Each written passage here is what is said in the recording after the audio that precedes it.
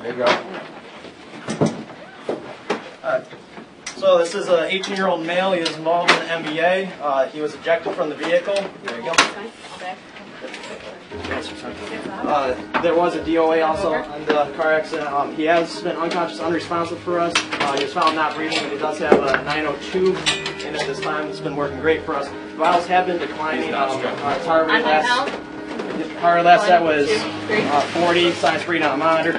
It's been hypotensive, uh, it's been falling down. We do have state uh, 14 in the right AC, and we just finished up our last thousand bag on. Uh, that's pretty much all I have. You have any questions? This is the end, and not you wanted. What was your last set? Last set? Last set was uh, Damages done. Police are calling. So slow now. I would have died. I would have loved you. Get called CPR.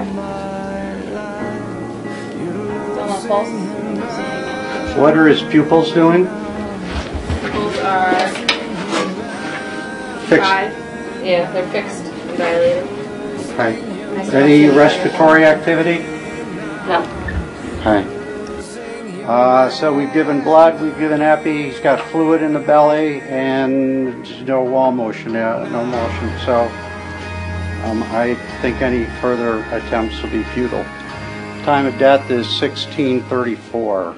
Hi, you're Ben's parents? Yes, we are. Okay, I'm Dr. Olson. Hi. As you know, Ben was involved in a very severe car crash this afternoon.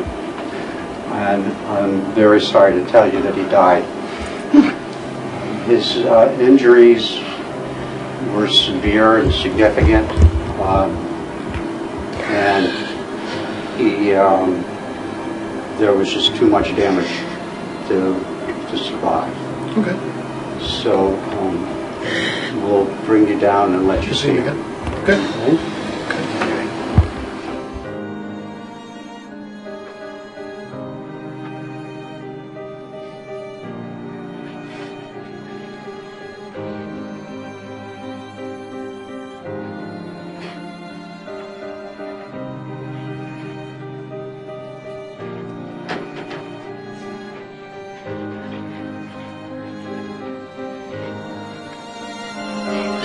God.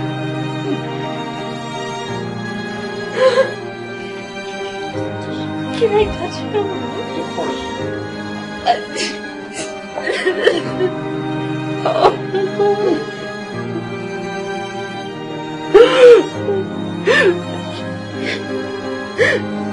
oh god. Thank